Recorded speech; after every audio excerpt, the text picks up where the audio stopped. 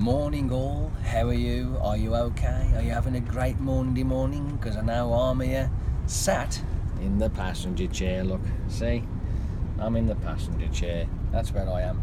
At the moment, I've got a, uh, a new driver with me. He's been out driving before. Uh, I'm just going to sit with him for a couple of days to see how he gets on.